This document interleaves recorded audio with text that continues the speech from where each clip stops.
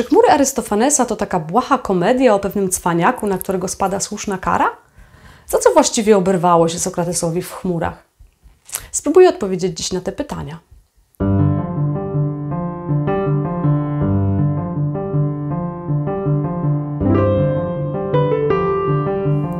Najpierw może odrobina kontekstu historycznego.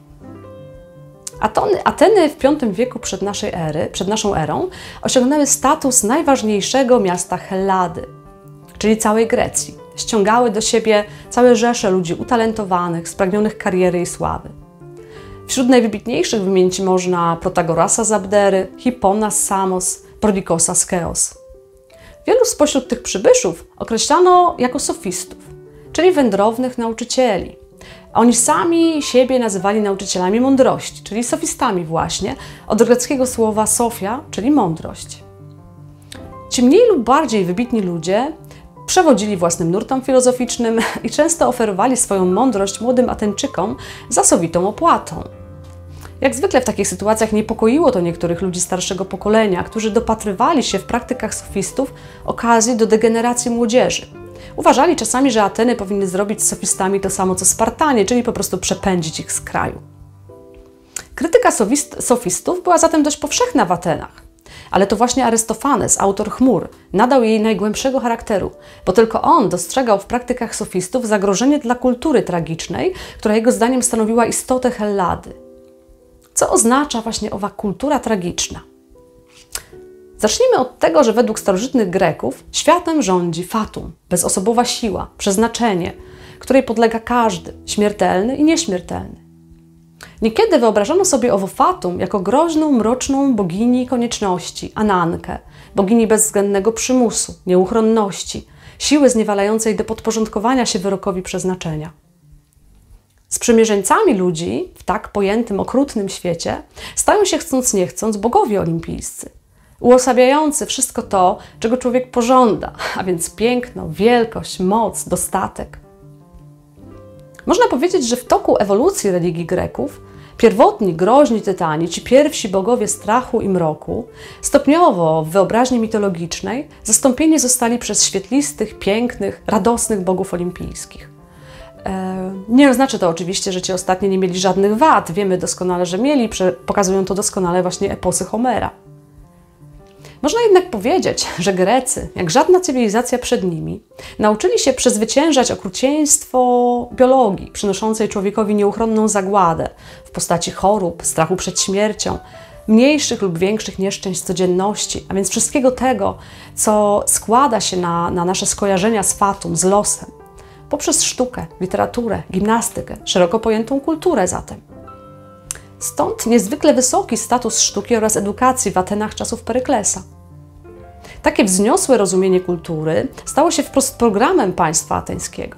Stąd obowiązek edukacji spoczywający na wolnych obywatelach, a także obowiązek uczestnictwa w różnego rodzaju obchodach religijnych, którym zawsze towarzyszyły, towarzyszyły jakieś popisy artystyczne, muzyczne, churalne, niekiedy także rywalizacja sportowa. Najwyższym stopniem tak pojętej kultury i tego programu, nazwijmy go rządowo-wychowawczym, były kilkudniowe przedstawienia teatralne, odbywające się raz do roku w mieście w Wielkim Teatrze Dionizosa. Występowały tam chóry składające się z mężczyzn i chłopców, mm, a także e, całe zastępy śpiewaków i tancerzy, niekiedy liczące sobie aż kilkaset osób. To daje wyobrażenie, do jakiego stopnia starożytni Grecy kochali sztukę, zwłaszcza dramatyczną, która nie istniała dla nich bez muzyki, chóru, tańca i śpiewu. Podobno mniej więcej w ciągu tych 100 lat, składających się na tak zwany złoty wiek Aten, e, wystawiono aż 900 tragedii i ponad 500 komedii. Tragedia była tym gatunkiem, który najpełniej ukazywał tragizm ludzkiego życia ten podniosły gatunek dramatu, który doskonale znacie chociażby z, z tragedii Sofoklesa, takich jak Król Edyp czy Antygona, przedstawiał właśnie nieuniknione uwikłanie bohatera w los, jego podległość wobec fatum, ale zarazem też godność postaci, które choć pokonane przez okrutne fatum, wciąż zachowują dostojeństwo, piękno, słowem człowieczeństwo w jego takim najpełniejszym, najgłębszym wymiarze. Nieodzownym elementem tego ideału kulturowego Aten, który właśnie opisuję, była także edukacyjna zasada kalokagatia, czyli idea kształcenia człowieka dobrego i zarazem fizycznie pięknego, swoista jedność ciała i ducha. Podsumowując, kultura tragiczna to forma kultury oparta na przeświadczeniu, iż światem rządzi bezwzględne fatum. Rolą zaś kultury, w tym nieodzownie sztuki, jest oswajać człowieka z tym faktem, łagodzić związane z tym nieuniknione cierpienie, pomagać pogodzić się z własnym przeznaczeniem, budzić uczucia współczucia i cnót obywatelskich, które wszystkim ułatwiają wszak życie.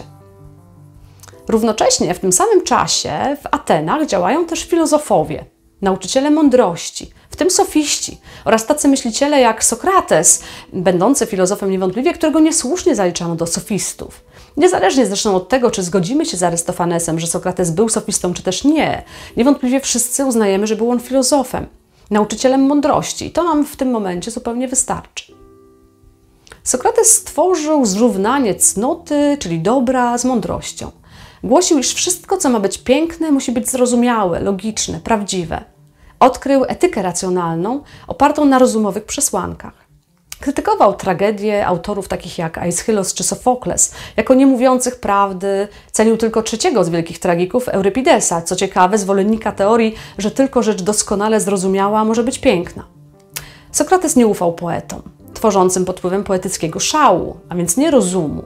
Poeta tworzy nie z mądrości, mawiał, tylko z tego, co jest poza mądrością, co nią nie jest, więc też nic dziwnego, że te twory, czyli poezja, są mało warte jego zdaniem. To założenie Sokratesa, że zło wynika z niewiedzy, człowiek zaś, który wie, nie może być nieszczęśliwy. Jedyna rzecz, o którą warto zabiegać, to zatem mądrość. Już nie piękno, które staje się cokolwiek podejrzane.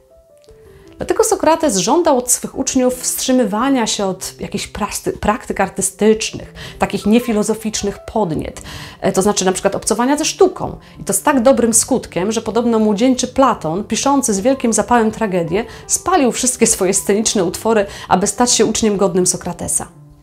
Tym samym, zdaniem niektórych, filozofia Sokratesa sprzeciwiała się samej istocie helleńskiej kultury, opartej o tragiczną wizję życia – której niezbędnym elementem był kult bogów olimpijskich, ale także ideał Kalokagatos, którego ważnym elementem, założeniem były chociażby ćwiczenia fizyczne, dbałość o ciało, jedność ducha i ciała.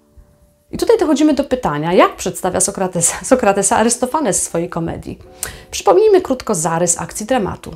Oto Strepsiades, zwany też wykrętowicem, zrujnowany przez rozrywkowy tryb życia swego syna Feidipidesa, odży konia, chce uciec od wierzycielom i nie płacić e, swoich długów. Z tego powodu zapisuje się na naukę do Sokratesa, tak aby mógł się dzięki sztuce wymowy wybronić przed spłaceniem długów, wykręcić od płacenia.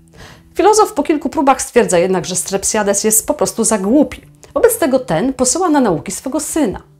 Po powrocie ze, ze szkoły Feidipides pomaga faktycznie ojcu wykręcić od płacenia długów, ale zarazem bije go i udowadnia mu co więcej, że ma prawo go bić. Wobec czego zrozpaczony ojciec podpala e, placówkę oświatową Sokratesa, zwaną przez niego dumalnią. Arystofanes pokazuje więc Sokratesa jako typowego sofistę, który podkopuje wiarę w Bogu, w ideały klasycznej edukacji, w tradycyjne wartości i w ten sposób psuje młodzież. To psucie młodych polega na odwodzeniu ich od sztuki, od chórów, od muzyki, wreszcie od gimnastyki. W zamian Sokrates Arystofanesa oferuje jedynie sztukę słowa, czysty, wyabstrahowany z wartości, tradycji intelekt. Jego zdaniem jedyne, co przystoi mężowi, to zwyciężać w procesach i na zgromadzeniach i w walkach na ostre języki. Oto ideał sokratejskiej e, edukacji. W oczach Arystofanesa, który wiedział, do jak ważnych i świętych celów służyć ma sztuka tragiczna, churalny kult Apollina i Dionizosa, tradycyjna edukacja, była to największa zbrodnia. To właśnie ze zwolenników Sokratesa rekrutowali się ateńscy poplecznicy Sparty w wojnie peloponeskiej. Do tych nieszczęść związanych z sofistami powinno się jeszcze doliczyć fakt, że demagodzy potrafiący wpływać na decyzje zgromadzenia ludowego za pomocą chwytów retorycznych, różnego rodzaju manipulacji słownej, sklebiający gustom ludu, uczyli się sztuki retorycznej właśnie od sofistów, z, których, z którymi Arystofanes utożsamiał Sokratesa. Chmury Arystofanesa to zatem nie tylko satyra na ludzkie przywary czy niewinna kpina z praktyk sofistów, ale także rozprawa z zupełnie odmienną wizją kultury – której zwycięstwo mogło na zawsze pogrzebać świat wielkiej tragicznej kultury Hellady.